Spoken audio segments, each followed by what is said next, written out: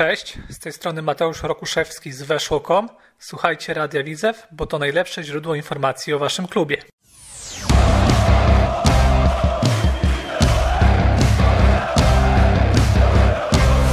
Radio Widzew w rytmie serca Łodzi.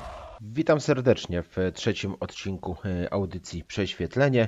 Dzisiaj na warsztat będziemy brali drużynę Radomiaka Radom, czyli drużynę, która już od e, ubiegłego sezonu gra w Ekstraklasie. Ja nazywam się Marcin Guzewicz i będzie mi bardzo miło i przyjemnie przedstawić e, dla Was kolejnego przedstawiciela najwyższej klasy rozgrywkowej, kolejnego przedstawiciela ekstraklasy. My, jak dobrze wiemy, wracamy tam po bardzo długiej banicji, musieliśmy się przebijać przez te wszystkie znoje i trudy i w końcu udało nam się e, trafić na ten najwyższy poziom rozgrywek e, PKO e, Ekstra Klasa. Dwa odcinki już za nami. Pierwszy odcinek odnośnie Górnika Zabrze, czyli no bardzo mocno utytułowanego mm, klubu, który no jakby na to nie patrzeć w tabeli Ekstraklasy, w tabeli wszechczasów jest bardzo, bardzo wysoko, ma swoje sukcesy, wiele razy zdobywał Mistrzostwo Polski. Natomiast w czwartek Maciek Wojciechowski przedstawiał drużynę Jagiellonii Białystok, czyli no zupełnie inny rejon geograficzny. Przenieśliśmy się ze Śląska na Podlasie, jak to Maciek fajnie wspomniał, taka troszeczkę e, pustynia e, piłkarska, no bo jeżeli mówimy o najwyższej klasie rozgrywkowej, a nawet jeżeli mielibyśmy potem jeszcze zejść poziom niżej, no to za wielu klubów e, tam po prostu nie ma. No monopol drużyny z Białego Stoku. O tym nawet wspominał swego czasu bodajże nawet Kamil Pycio. Jeśli chodzi o drużyny młodzieżowe, bo w niższych ligach mamy około 17 Jagiellonii, tak jak to kolokwialnie nazwał, nazwał Kamil, no więc zabetonowane, e, zabetonowane miejsce, zabetonowany rejon e, kraju. Inne kluby nie mają za bardzo podjazdu, inne kluby za bardzo nie mają możliwości e, tak dynamicznego i dobrego rozwoju, więc pozostaje tam Jagiellonia. No ale do audycji o Jagiellonii oczywiście odsyłam już do naszych podcastów, na nasze Spotify, nasze YouTube, nasze SoundCloudy. Tam możecie oczywiście to wszystko odsłuchać, jest jak najbardziej e, dostępne. Dzisiaj, tak jak powiedziałem, trzeci mm, odcinek. W odcinku trzecim drużyna z Radomia ale nie Chytra Baba z Radomia, tylko, tylko Radomiak Radom. Drużyna, z którą no, widzę w Łódź e, ma dużo wspólnego. Poczynając od daty założenia, poprzez e, wstępny mm, skrót nazwy, ale do tego sobie dzisiaj jeszcze dojdziemy i o tym chwilę opowiemy. Radomiak Radom to jest też taka drużyna, która mi się bardzo mocno kojarzy z czasami właśnie reaktywacji, bo od momentu, kiedy wyszliśmy z tego naszego regionu, czyli awansowaliśmy po tym słynnym meczu e, w Ostrudzie, Nomen omen mieliśmy niedawno e, rocznicę, czterolecia tego, e, tego słynnego, fajnego spotkania. Trafiliśmy na ten poziom centralny i tam już trafiliśmy po raz pierwszy właśnie na drużynę Radomiaka Radom. No i z tym Radomiakiem mierzyliśmy się w drugiej lidze, potem oni nam uciekli do pierwszej ligi, no to my żeśmy ich dogonili w tej pierwszej lidze i znowu żeśmy się mierzyli e, w wyższej klasie rozgrywkowej. E, i o ile z drużyną Radomiaka chyba nawet dwa razy, czy raz, nie, raz, przepraszam, raz w pierwszej lidze żeśmy się e, mierzyli w jednym sezonie, no i Radomiak wygrywając ligę ucieka do ekstraklasy, no a my to robimy sezon później, no i teraz się już będziemy spotykać, spotykać w ekstraklasie, także drużyna Radomiaka Radom i ogólnie całe kadra, piłkarze, zespół, no gdzieś tam przez ten widzew e, się przewija, no i przewijać się e, będzie, e, będzie dalej, ponieważ spotkania z drużyną z Radomia no będziemy w tym nowym sezonie oczywiście odbywać oraz grać. Ja jeszcze przypominam sobie takie inne spotkanie z Radomiakiem Radom, to był rok, teraz żebym sobie nie skłamał i, i źle nie powiedział, chyba 2005 to było zaraz po śmierci Jana Pawła II, papieża Polaka, gdzie na stadionie Widzewa padał no, rzęsisty deszcz. Właśnie chyba wtedy przyjechała drużyna z Radomia do nas na mecz. Nie pamiętam nawet wyniku, jaki tam był, ale to, co mi utknęło w głowie na pewno, to jest to, że wiadomo, po, po śmierci papieża była taka moda na śpiewanie chociażby barki na stadionach i, i, i wiem, że to coś takiego było wraz z kibicami z Radomia. E, z Radomia również, także pojednanie dla papieża e, było. E, no i nic więcej potem mi się z Radomiakiem jakoś nie chciało nigdy, nigdy kojarzyć. No i dopiero ta reaktywacja i ten moment, kiedy żeśmy mm, no, musieli spaść do tych niższych lig, ale wraz z tym Radomiakiem gdzieś tam żeśmy razem e, szli, e, szli do góry.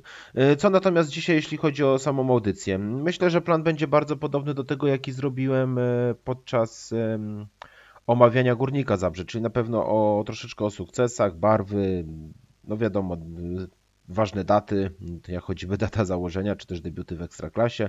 Trochę o stadionie Radomiaka, bo to jest na pewno temat, który trzeba będzie poruszyć. E, sprawdzimy sobie sytuację Radomiaka Radom w ubiegłym sezonie, jak oni zakończyli ligę, jak grali.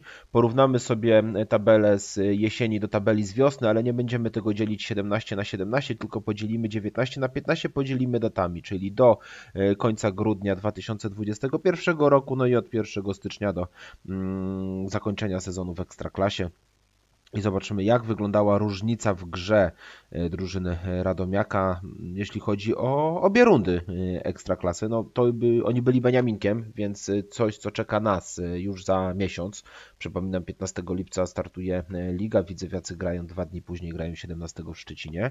17.30, przypominam już teraz. Jak ktoś będzie nad morzem, no to być może będzie miał okazję zobaczyć to spotkanie. W sumie to jeszcze nie wiem, jak tam w Szczecinie ze stadionem, czy ostatecznie będzie otwarty dla kibiców gości, czy też Pogoń może będzie wpuszczała na swoje sektory.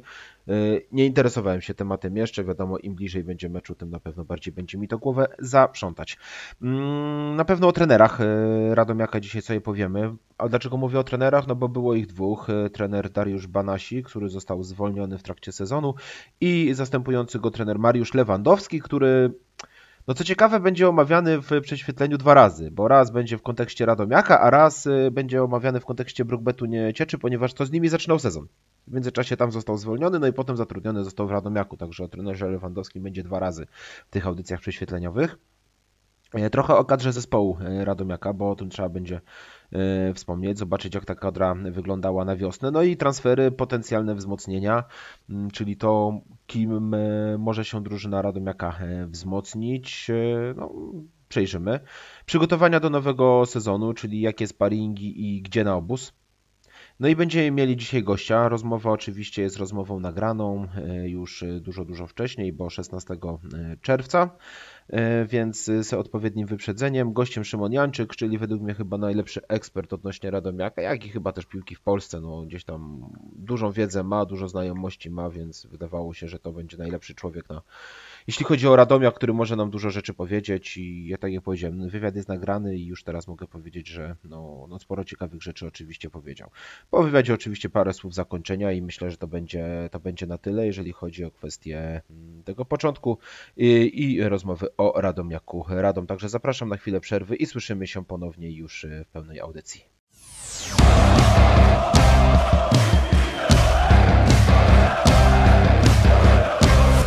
Radio Widzew w rytmie serca Łodzi.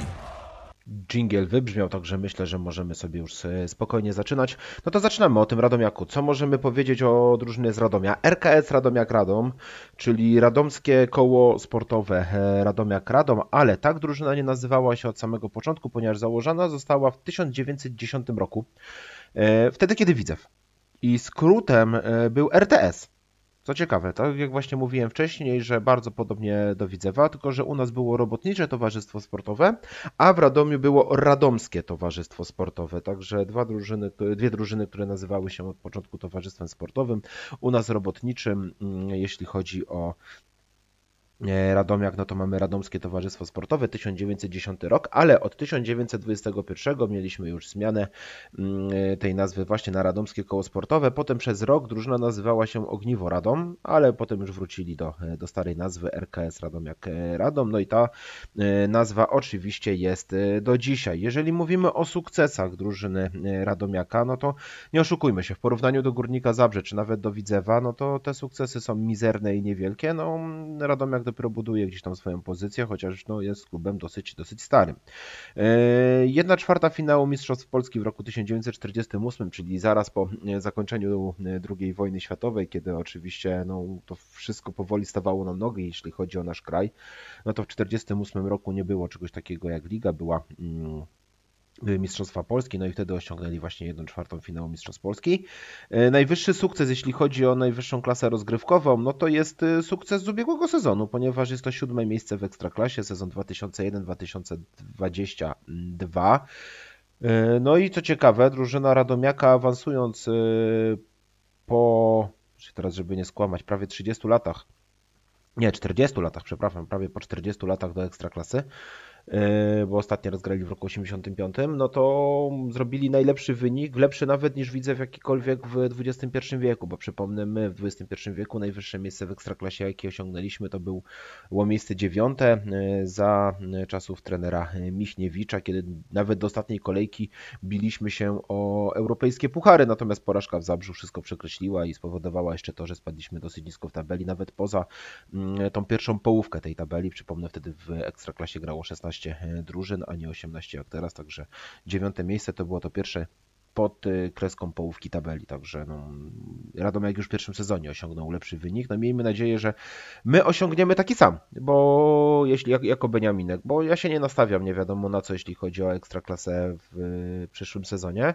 Chciałbym się spokojnie utrzymać, a dla mnie takie siódme miejsce przyjmę z pocałowaniem ręki, tak na dobrą sprawę powiem super, fajnie, zbudowaliśmy, okrzepnęliśmy, mamy pieniądze, możemy się wzmacniać, no i możemy w następnych sezonach iść wyżej, ale yy, życzyłbym sobie naprawdę siódmego miejsca w Ekstraklasie, bardzo, bardzo, bardzo dobry wynik.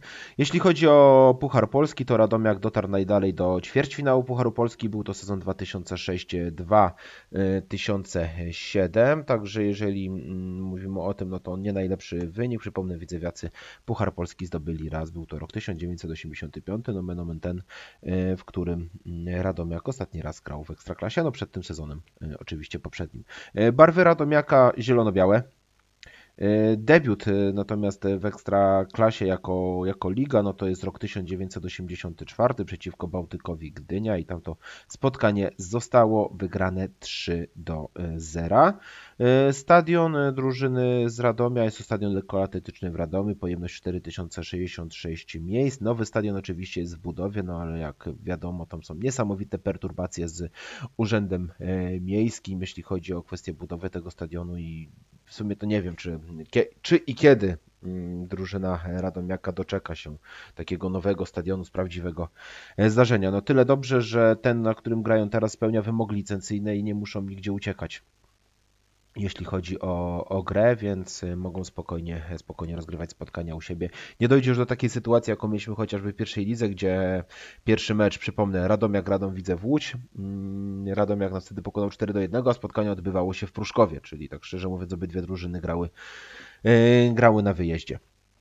Jak wyglądała sytuacja mm, Radomiaka w poprzednim sezonie? Tak jak już powiedzieliśmy, zakończył rozgrywki na miejscu siódmym, 34 kolejki, 48 punktów, 11 zwycięstw, 15 remisów, 8 porażek. No tych porażek naprawdę niewiele, bo to była raz, dwa, trzy, czwarta tak drużyna, jeśli chodzi o ilość e, porażek, najmniejszą, więc no trochę te remisy chyba tutaj e, zawaliły dosyć, e, dosyć mocno i myślę, że gdyby gdzieś tych remisów było mniej, tak nie wiem, ze dwa zwycięstwa więcej, 52 punkty, no to miejsce szóste by było, blisko gdzieś do Piasta. No Radomiak miał realne szanse na to, aby nawet osiągnąć grę w europejskich pucharach, no ale ta wiosna oczywiście im wszystko mm, popsuła.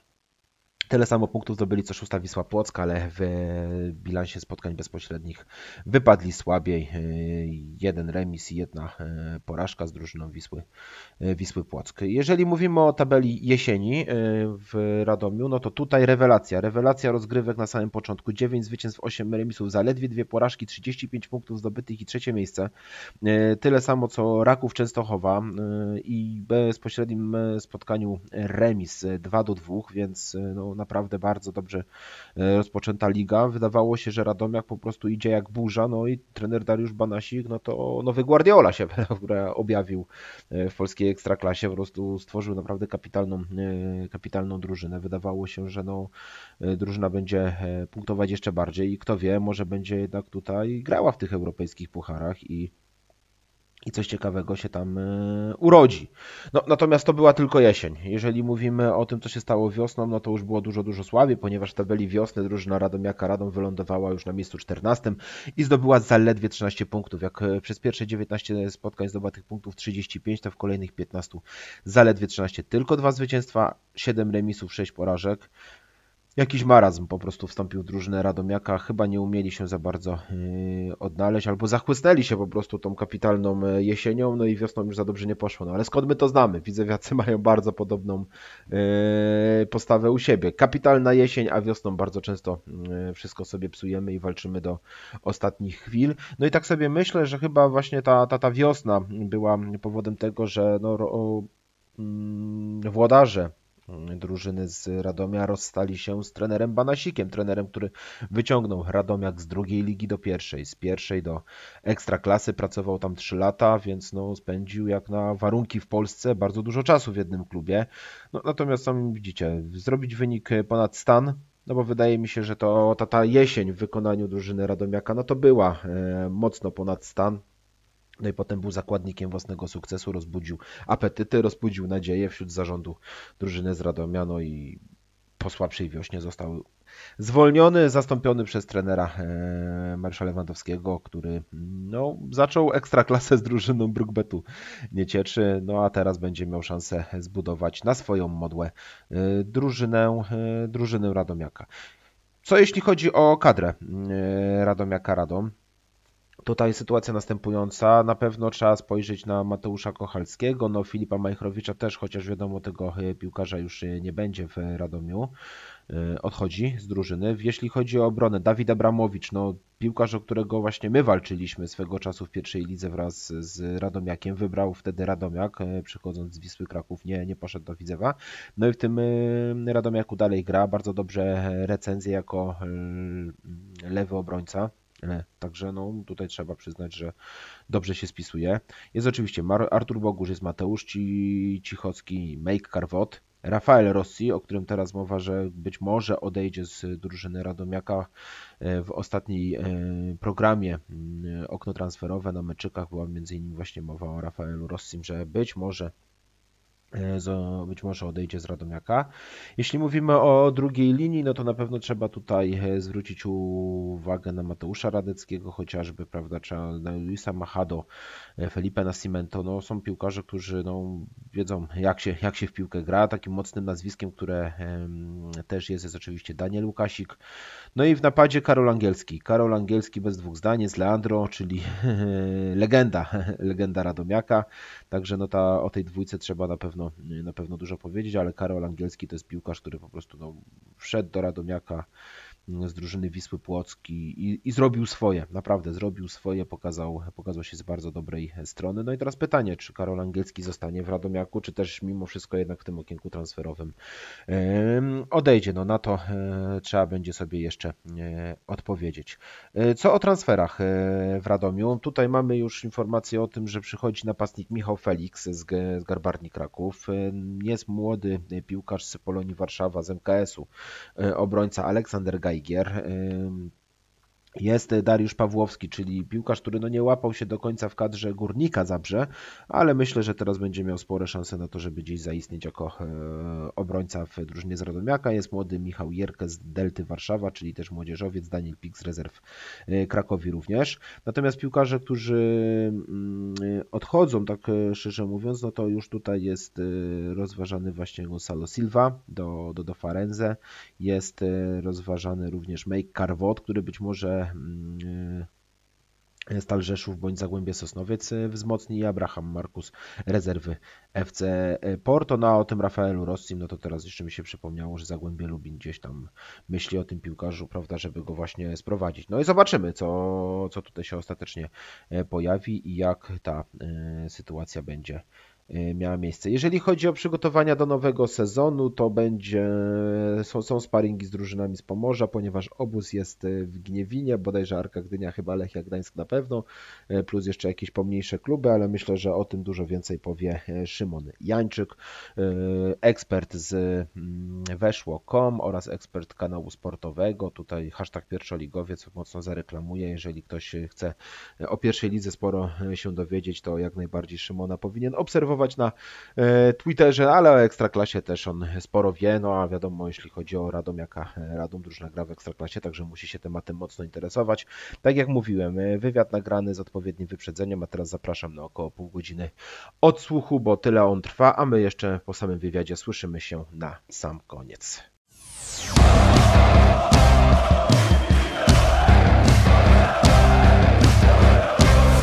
Radio Widzew w rytmie serca Łodzi. Z nami jest już Szymon Janczyk, Weszło oraz kanał sportowy, ekspert od Radomiaka, jak i chyba całej polskiej piłki, można by to tak nazwać. E, Szymek, e, prawie rok przerwy, jak chyba ciebie u nas nie było. E, stęskniłeś się trochę za Radiem Widzew? Zawsze, zawsze, zawsze tęskniłem bardzo, bo miło się z wami rozmawiało.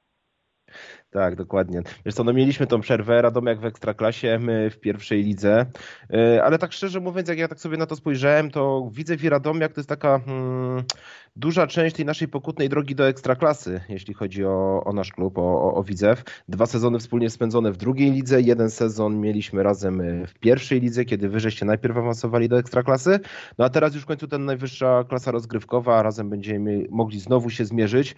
Natomiast jak tak patrzymy na ten, na ten czas, te dobrych parę lat, no to zarówno w jednym, jak i w drugim klubie nastąpiło jednak sporo zmian. Jak ty myślisz, czy to są zmiany na plus, czy, czy coś się dzieje teraz niedobrego i może, nie wiem, zaraz będą zmiany na minus, jeśli chodzi o Widzew, jak i o Radomiak? Hmm. No myślę, że to są dwa kluby, które cały czas e, próbują się dostosować do tej najwyższej ligi w Polsce, w której teraz są. Radomiak już e, jest w niej przez chwilę, Widzew dopiero no nie awansował, ale widzę, że też aktywnie działa na tym rynku transferowym szukając wzmocnień, no bo mm, po prostu ten awans zawsze przychodzi łatwiej niż e, późniejsze utrzymanie, więc tutaj taki cel nadrzędny myślę Widzewa będzie to utrzymanie, to co Radomiakowi się udało w pierwszym roku i to co Radomiak będzie chciał pewnie powtórzyć w tym sezonie, bo no nie ma co ukrywać, że tutaj e, tak nie, nie ma sensu, nie ma logiki w celowaniu w jakieś e, wybitne sukcesy, to po prostu na razie przez te parę lat trzeba funkcjonować e, po prostu w najwyższej lidze, bez jakichś szaleństw. Oczywiście każdy fajny wynik jest e, plusem jakimś, ale tutaj no to jest taka, taka niespodzianka, mm, a nie, a nie konieczność. Także no Widzew ma troszkę łatwiej, ma dużo większy budżet niż Radomiak, więc tutaj zadaniem dla Radomiaka jest po prostu właśnie e, pozostanie w tej lidze tak długo, żeby te warunki budżetowe, finansowe były takie same jak w przypadku innych zespołów ekstraklasy, oczywiście tam są jeszcze poboczne tematy, te, te boiska treningowe i tak dalej, natomiast no, tutaj też jednak finanse odgrywają dużą rolę i im dłużej jesteś w ekstraklasie, tym e, bardziej jesteś w stanie konkurować z tymi innymi zespołami o jakichś ciekawych zawodników dzięki temu, że te pieniądze cały czas spływają na konto. A to się na pewno muszę z Tobą zgodzić. Natomiast tak, e, nasza audycja nazywa się Prześwietlenie i o dziwo w Radiu Widzew dzisiaj więcej będziemy jednak rozmawiać o, o Radomiaku niż o Widzewie. Na pewno na koniec tej naszej rozmowy tam parę pytań zadam, bo e, nie byłbym sobą, gdyby, e, gdyby nie było inaczej. Powiedz mi, ten drugi sezon, jeśli chodzi o Radomiak, to jest taki mm, najważniejszy pod kątem ekstraklasy, bo okej, okay, wy byliście rewelacją rozgrywek e, w tym poprzednim sezonie, e, w tych ubiegłorocznych czy też ubiegłosezonowych e, zmaganiach. Siódme miejsce zdobyte. Bardzo dobra jesień, nawet powiedziałbym, że kapitalna jesień. Chyba ktoś się zachłysnął mocno sukcesem, bo z tego co słyszałem i z tego co śledziłem, no wiadomo więcej śledziłem pierwszej ligi niż ekstraklasy mimo wszystko jednak, to jednak gdzieś były te rozmowy o szansie gry w europejskich pucharach. Ja wiem, że ty podchodziłeś do tego bardziej pragmatycznie i raczej nie wierzyłeś w takie cuda, e, no ale potem to co się wydarzyło w klubie, no to raczej nie było najlepszym, e, najlepszą reklamą e, radomskiej piłki. Jakbyś mógł troszeczkę przybliżyć temat dla, dla naszych słuchaczy, dla naszych kibiców, dla kogoś, kto wiadomo do tej pory, nie wiem, tam Radomiak, no to pamięta właśnie z tych czasów niższych lig, a nie, nie ta ekstraklasa, no bo mówię, było kapitalnie, fantastyczna jesień, a wiosna już, już, już nie taka dobra.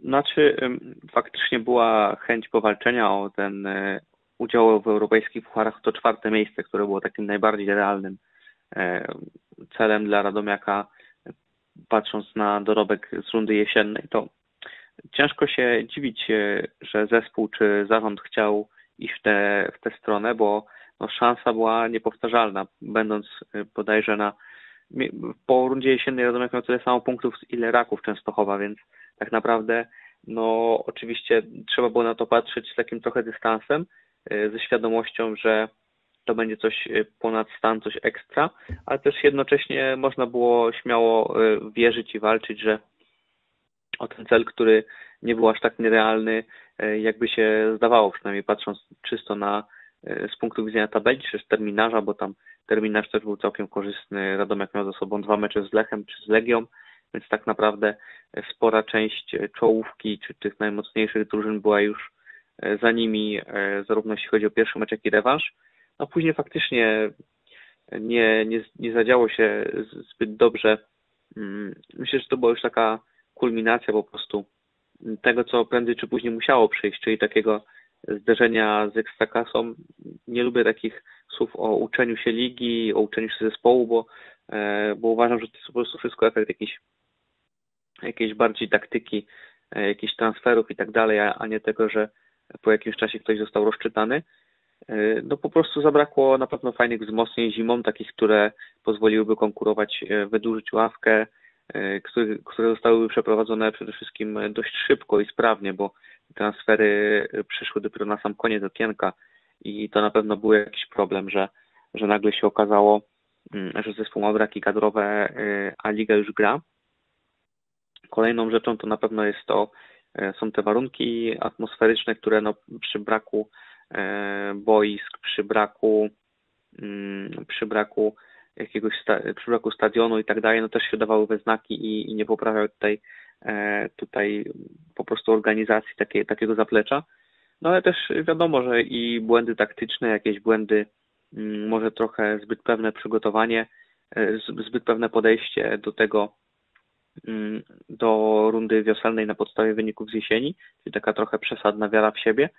E, może też trochę jakieś złe przygotowanie, nie złe, nie najlepsze, nie tak dobre jak do rundy jesiennej, jeśli chodzi o jakieś tam względy fizyczne.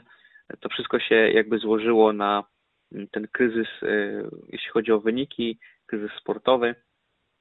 No a później wiadomo, e, doszło do, do zmiany trenera, która też trochę wisiała w powietrzu, biorąc pod uwagę te, te jakieś powiązania, o których e, wspominaliśmy przy okazji tej, tej zmiany na weszło, czyli o to, że po prostu ci ludzie ze wschodu, którzy działają w Radomiaku, troszkę forsowali kandydaturę Mariusza Lewandowskiego, którego dobrze znają i jakby z nim chcieli budować ten projekt dalej. Natomiast no, prawda jest taka, że wiosną Radomiak był jednym ze słabszych zespołów, jeśli chodzi o, o zdobycz punktową. Oczywiście nie znaczyło, że miał same słabe mecze e, i że ten to który jest ten prawdziwy. Radomiak? Ten z jesieni czy ten z wiosny? Myślę, że nie ma jakiejś takiej odpowiedzi na, na, na, takie pytania. No, to tak jak mówię, to nie jest tak, że liga się kogoś uczy, czy kogoś się da rozstrzygać. Po prostu czasami e, w, jednym, w jednej części sezonu masz szczęście, troszkę się e, wybijasz na dobrej serii, na takich pozytywnych wynikach, które ci napędzają i, i które pozwalają ci wierzyć, e, że możesz zejść wysoko, a w innym momencie wpadasz w dołek, musisz się z tego dołka wygrzebać, co Radomiakowi no nie przyszło łatwo. Miał fajne mecze, takie już, które dawały jakieś nadzieje na, na przyszłość, natomiast mm, później się okazywało, że y, no fajna gra też nie wystarczy, bo tych punktów brakowało.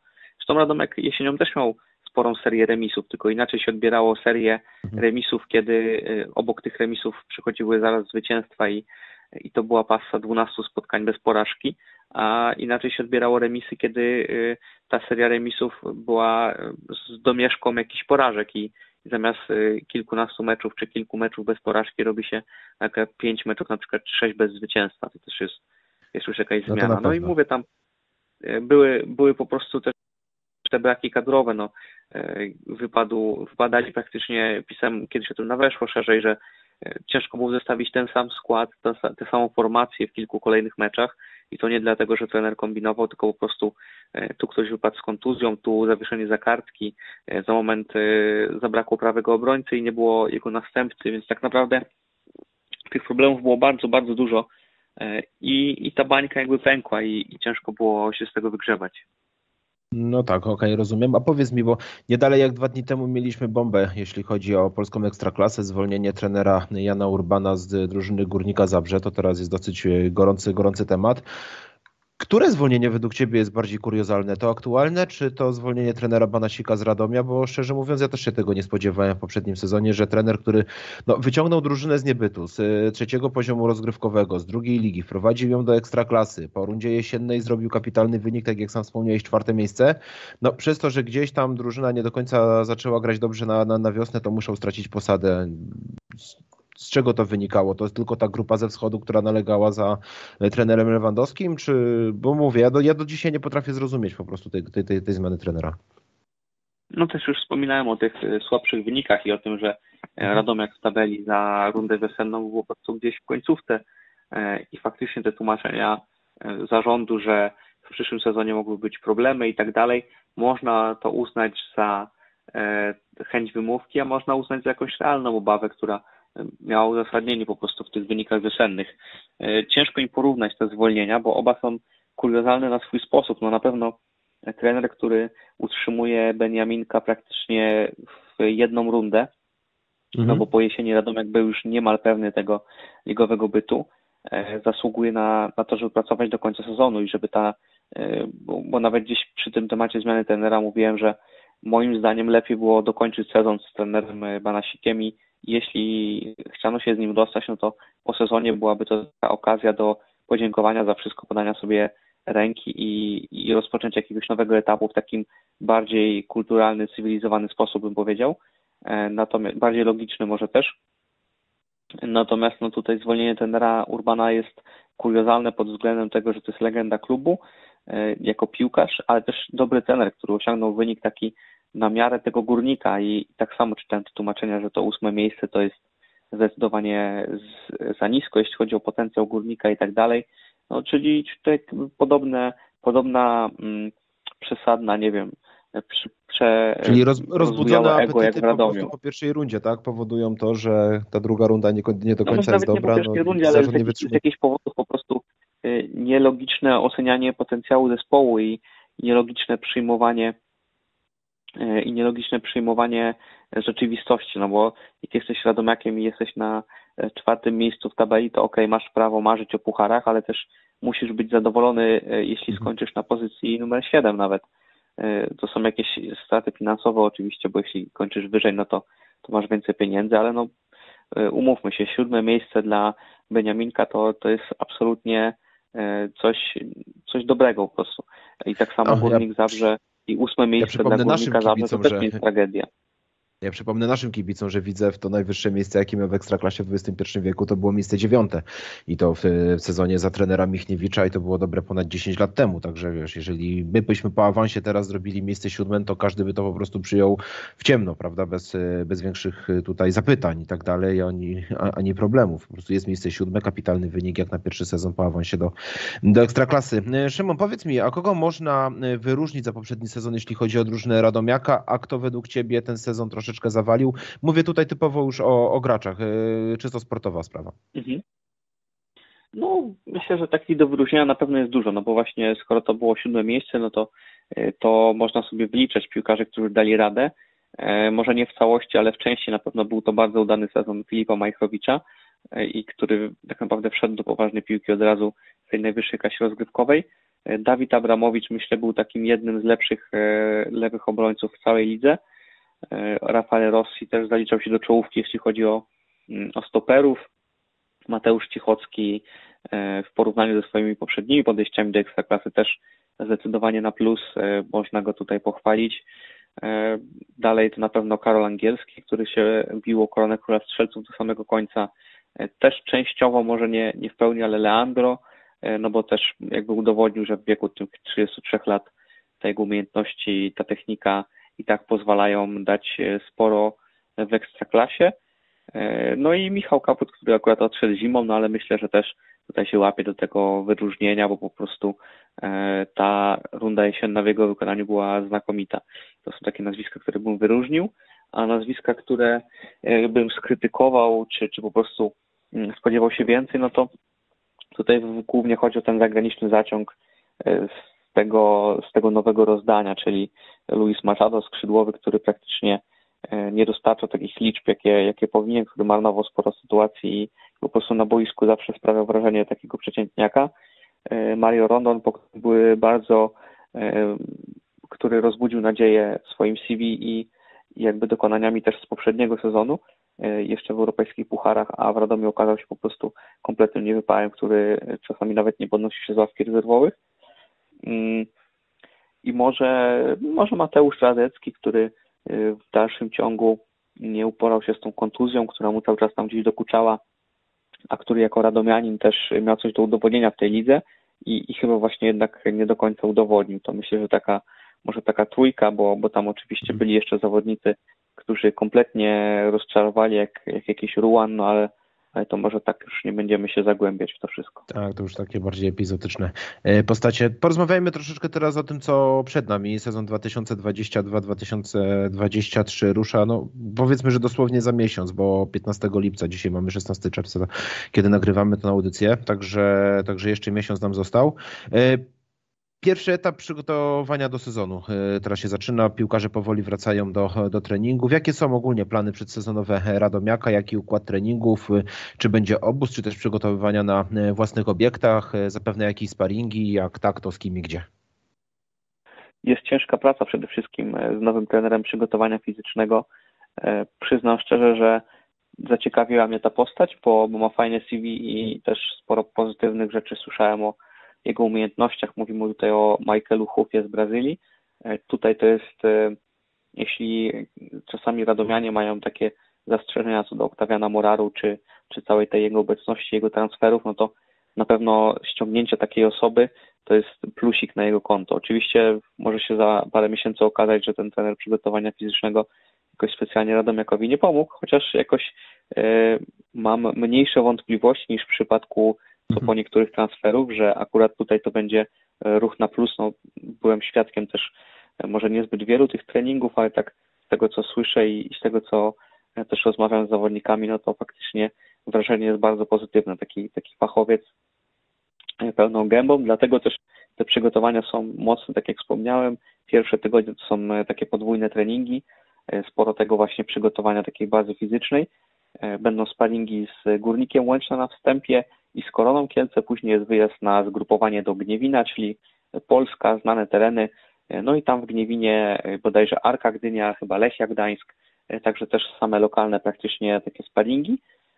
Po Gniewinie jest bodajże jeszcze jeden sparing i, i zaczynamy ligę. Już te przygotowania wtedy będą na własnych obiektach, też na murawie, która, e, no nie nazwę tego ośrodkiem treningowym, ale na boiskach treningowych, które zostały zmodernizowane latem może zmodernizowane to też za duże słowo, e, usprawnione troszkę. Po prostu tam została wymieniona murawa, e, są troszkę w lepszym stanie, a przynajmniej mają być za, za te parę tygodni, jak już to wszystko zostanie zakończone, jak Radomiak po zgrupowaniu po prostu wróci do siebie na te ostatnie tygodnie przygotowań. Więc no tutaj ten plan jest taki dość intensywny. Mm, będzie, będzie dużo pracy, bo też ta końcówka sezonu pokazała, że trener Lewandowski e, ma duże wymagania, jeśli chodzi o taką pracę fizyczną, o takie przygotowanie zespołu, te treningi są dość intensywne, dość wymagające, dlatego no, spodziewam się, że to po prostu będzie taki mocny okres dla piłkarzy. Okej, okay, w porządku. A powiedz mi, mm, czy ty może już wiesz, jaki styl zespołu chce budować e, trener Lewandowski? Jak on mocno będzie się różnił od tego, co oglądaliśmy za trenera mm, Banasika? No i pytanie, czy trener Lewandowski buduje Radomiaka e, pod tym kątem e, strategicznym, taktycznym na modłę Brookbetu, czy, czy zupełnie inaczej? No i czy być może już w poprzedniej rundzie na koniec było widać zalążek tego, co Radomiak ma grać w nowym sezonie? Zalążek na pewno tak, bo, bo było sporo więcej takich podań i gry kombinacyjnej, e, grania po ziemi, przytrzymywania piłki, bo wcześniej Radomiak raczej mm, przenosił piłkę pod bramkę, pod, na połowę rywala dość szybko, e, czasami długimi podaniami, czasami w inny sposób, ale ważne było to, żeby umieścić ją jak najbliżej bramki rywala i tam o nią powalczyć, tam poszukać przewagi. E, natomiast po przyjściu trenera Lewandowskiego to już było dużo podań, czasami może jeszcze nie efektywnych, mm, nie dających takich efektów, jeśli chodzi o jakieś bramki i tak dalej, ale, mm, ale jednak e, taka zmiana widoczna po prostu dla każdego, e, kto ogląda mecze, bo, bo to się po prostu rzuca w oczy.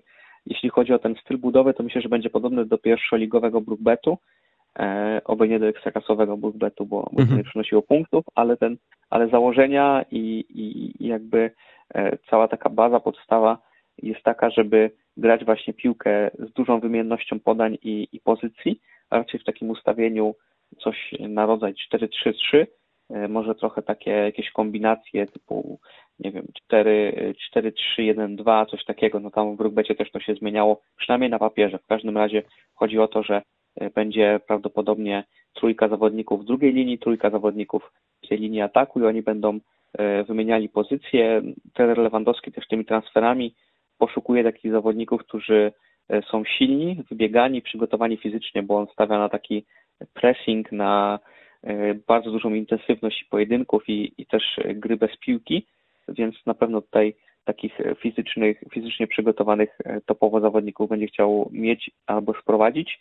E, dodatkowo właśnie tak jak mówiłem, tych silnych, no bo ta walka o piłkę, te, szukanie przewagi w driblingach, w pojedynkach też ma u niego duże znaczenie. E, no i chyba, no i chyba to jest tyle, jeśli chodzi o, okay. o, te, o te rzeczy.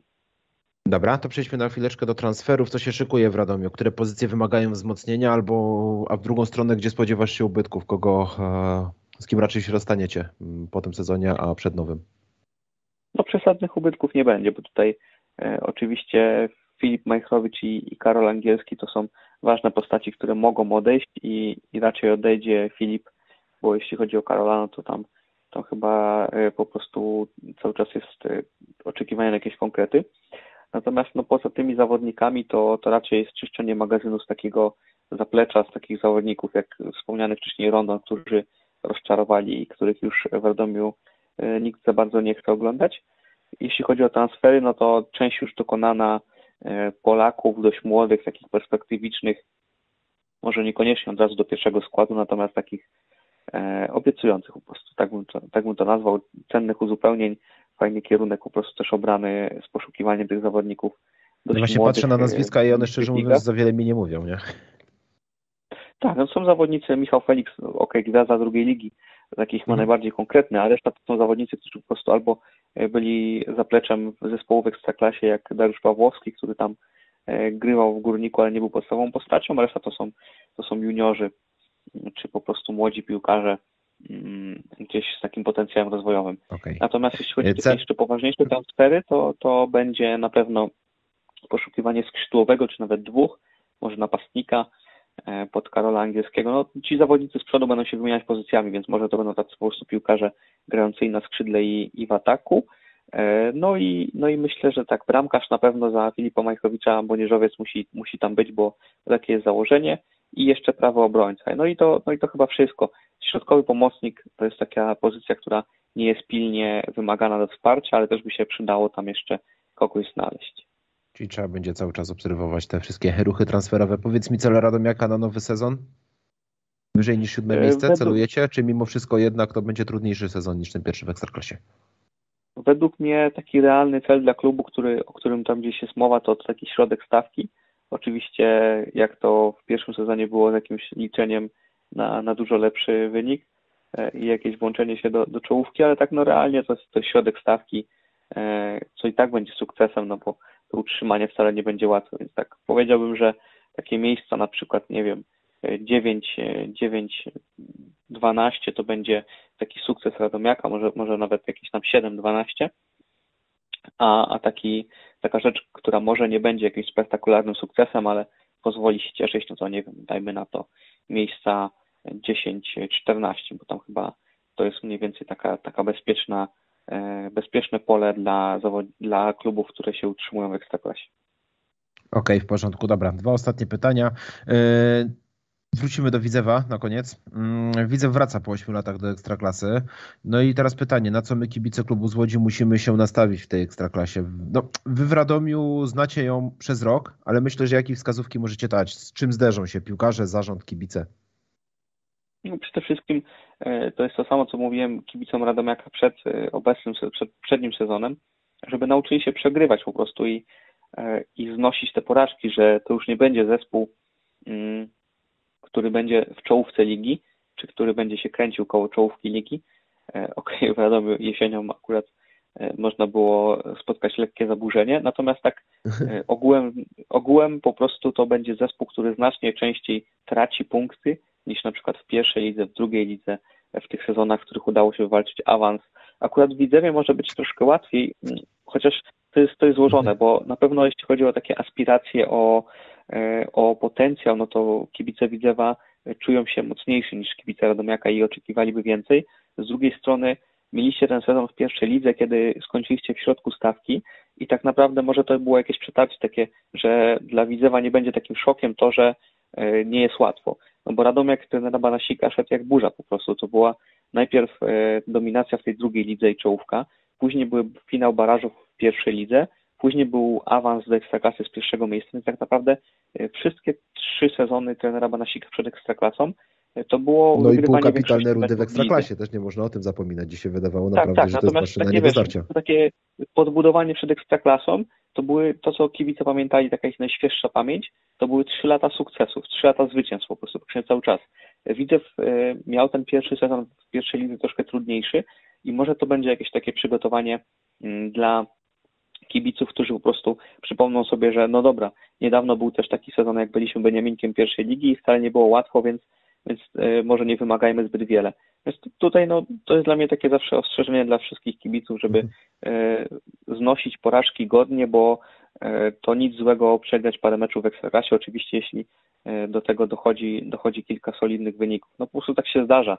Te zespoły, z którymi rywalizuje Widzew czy Radomiak, to są zespoły dużo silniejsze przeważnie, przynajmniej na papierze, więc no, one są faworytem w większości spotkań. Trzeba się na to nastawić, trzeba, trzeba wiedzieć, że każde jakieś miejsce ponad tę walkę utrzymania, no to, to już jest sukces i, i z tego trzeba się cieszyć. Okej, okay, w porządku. Dobra, to na sam koniec zapytam, kto zakończy ligę wyżej, Radomiak czy Widzew? I pytam tutaj mózg, a nie serce oczywiście. Wiesz co, może, może jednak bym wskazał Radomiaka, z racji tego, że no Beniaminek ma, ma po prostu ciężko, e, a, a Radomiak jakieś doświadczenie z tej lidze już zdobył i, i na ten moment po prostu jest taki dość okrzepnięty, jeśli chodzi o tę kadrę e, ekstraklasową, nawet jeśli jakichś spektakularnych wzmocnień nie było, ale też zaznaczę, że no nie spodziewam się, żeby to był jakaś wielka, jakiś wielki dystans między tymi drużynami. To nie tak, że typuje Radomiaka na miejsce ósme, a Widzewa, Widzew na miejsce piętnaste, tylko no raczej będą blisko siebie, ale no myślę, że jednak Radomiakowi będzie troszkę łatwiej się utrzymać w tym sezonie. Okej, okay, w porządku. Dobra, to w takim wypadku to wszystko. Ja Tobie serdecznie dziękuję. Waszym i naszym gościem był Szymon Janczyk, ekspert weszło kanału sportowego, ekspert od Radomiaka, osoba, która o tym klubie wie dosłownie wszystko. Dzięki jeszcze raz serdecznie Szymon za przyjęcie zaproszenia. Dziękuję również. Do usłyszenia. Do usłyszenia. Cześć.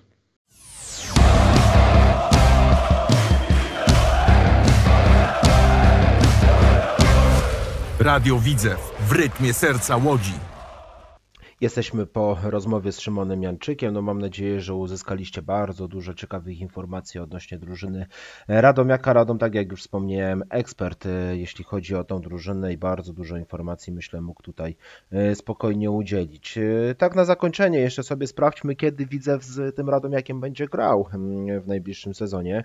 Już sobie odpalam terminarz i patrzę, to jest 16 kolejka, czyli weekend 5-6 listopada, przedostatnia kolejka jesieni podejmiemy Radomiak u siebie u siebie, zagramy w sercu Łodzi wtedy, natomiast na rewanż to będzie przedostatnia kolejka oczywiście już w Ekstraklasie, weekend 20-21 e, e, maja i tutaj pojedziemy do Radomia, e, czyli to będzie ostatni wyjazd Widzewa w, w Ekstraklasie w przyszłym sezonie i będzie to właśnie spotkanie z Radomiakiem Radom, także do, do takiego bezpośredniego meczu z Radomiakiem to nam jeszcze sporo, ale to sporo czasu zostało i zobaczymy, zobaczymy jak to będzie wyglądać. Na Widzew z reguły miał dobrą jesień, słabszą wiosnę. Może teraz w końcu nam się uda to jakoś wyrównać, że będzie zarówno jesień, jak i wiosna na jakimś odpowiednim, akceptowalnym oraz e, dobrym, e, dobrym poziomie. No dobra, no to co? Myślę, że pora kończyć. Dziękuję Wam serdecznie za to, że spędziliście tą prawie godzinkę e, razem ze mną i mieliście ochotę posłuchać troszeczkę o kolejnym przedstawicielu Ekstraklasy, tym razem drużynie Radomiaka. Ja zapraszam już oczywiście na następne pozycje w naszym radiu. Z tego co wiem, no to Szykują się kolejne prześwietlenia oczywiście, e, za chwileczkę kolejne kluby i nie tylko ja z Maćkiem Wojciechowskim, ale również reszta naszej redakcji też będzie miała oczywiście w tym udział. Natomiast gdzieś mi teraz zniknęła e, rozpiska, e, jaki klub następny, także obserwujcie naszą ramówkę, a myślę, że wszystko będzie wiadomo. Ja Wam jeszcze raz serdecznie dziękuję za tą prawie godzinkę, miło było spędzić z Wami ten czas. Trzymajcie się ciepło i życzę wszystkiego dobrego wszystkim kibicom Widzewa. Cześć.